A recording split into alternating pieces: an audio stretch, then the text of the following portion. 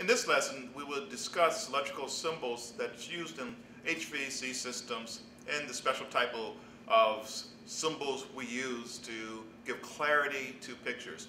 So eh, when you're dealing with symbols, we have many different types of symbols to give some type of representation of a component, but more than that, to give logic to a electrical diagram.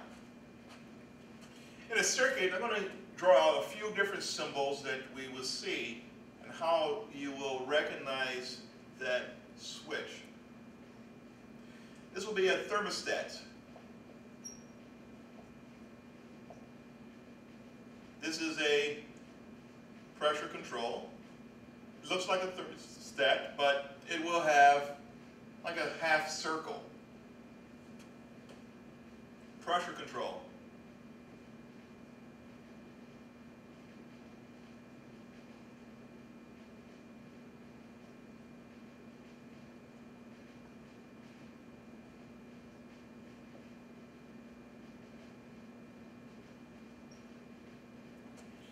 This would be a float control.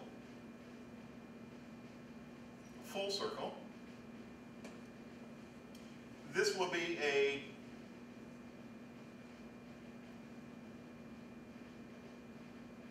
sail switch. Air movement would cause it to uh, open or close.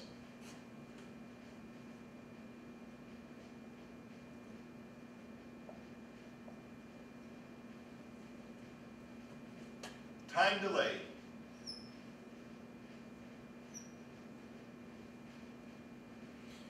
Other components you may find, we're dealing with motors or solenoids or other type of uh, consuming devices. These are switches that open and closes based on uh, what it's used for. But a electrical coil or solenoid coil will look like that.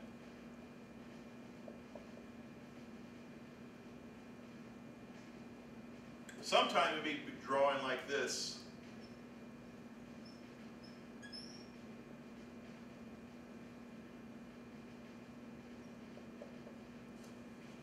Or we may find a motor. It may be drawn just as a circle, and it will be abbreviated what it's used for. Indoor blower motor, IBM. If it's a condenser fan motor, be a circle, condenser, fan, motor. It was a compressor,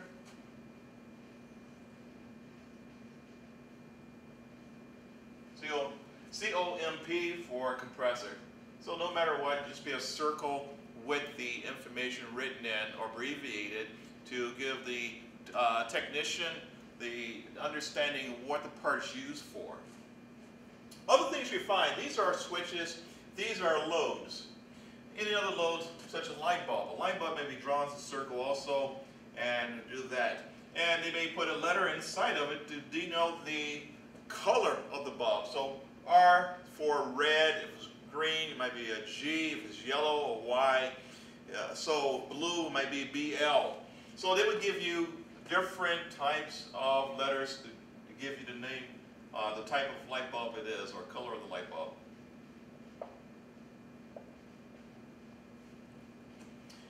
Other type of uh, switches that you find when we're dealing with switches for contactors or relays.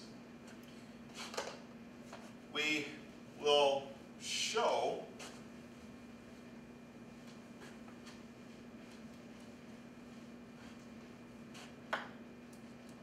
symbol of a switch. Straight line, a gate basically, two contact points. Input, output. This is closed. An open switch will be drawn like this.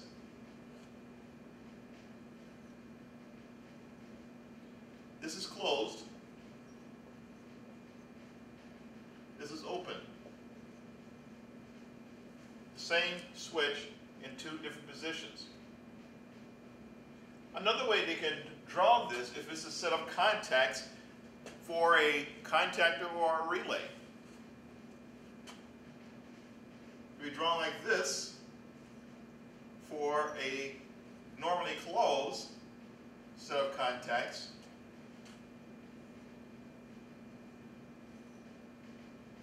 And this will be open set of contacts. Close with a diagonal line through the contact point and is left open when the contact is open. So showing you two different ways to draw a switch. This is for a switch, this is more for a contact. Contacts are found in relays and contactors. A couple other symbols. Relays come in multiple configurations. It can be a relay we call a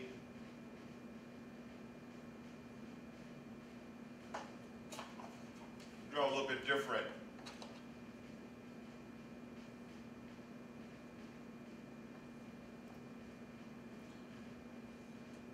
Single pole, single throw. One pole coming in, one power source coming in, has one action. It opens or it closes. Single pole,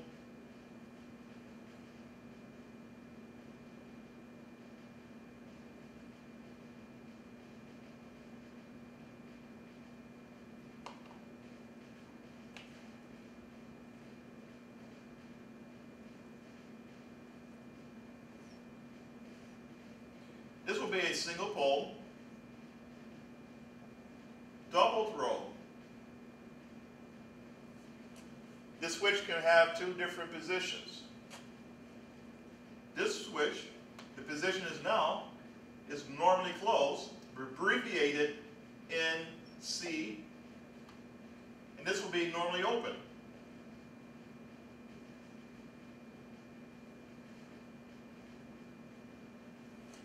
Single pole, one power source coming in, two different actions.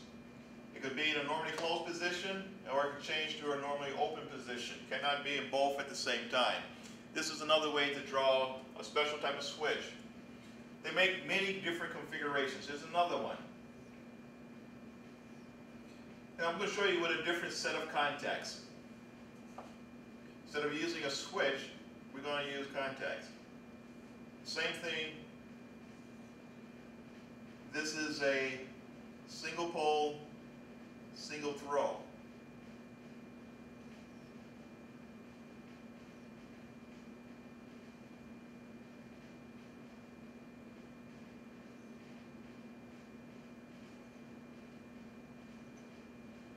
Single pole, double throw. One open, one closed.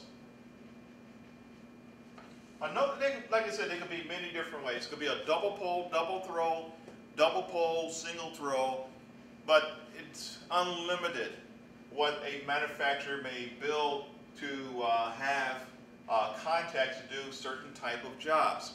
So this is symbols that give us the information of how uh, this action, the action of switches and how it will open. So then again, this is normally closed. This is normally open. Okay? So, give you a little more information. Just build a couple circuits. Some very basic circuits. To give you information how you would look at a schematic. We're going to do a line diagram or a schematic. Two power sources, hot and a neutral. We'll abbreviate it. Contact points. We write down the voltage. Now we're going to put a symbol. Let's say we got contacts for a contactor. We have a compressor. Another set of contacts. We're going to put a contact point showing that it is actually physically connected to that hot leg and the neutral leg.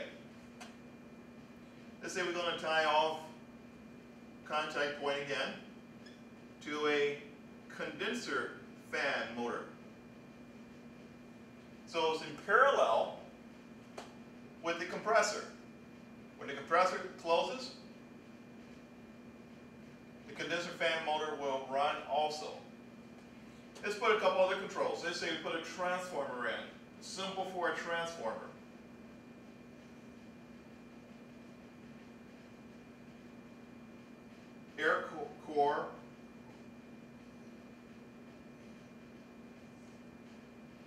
Step down transformer. From 120 volts down to 24 volts. It's a transformer. And this is the symbol. We're showing both primary and the secondary coil of a transformer. So, then we're going to need a thermostat or the sub base of a thermostat.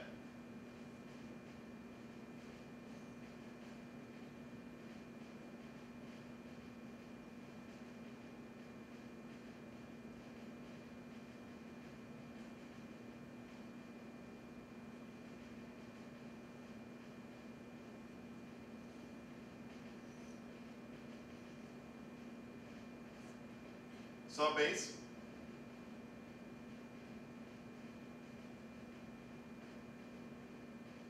Of the thermostat.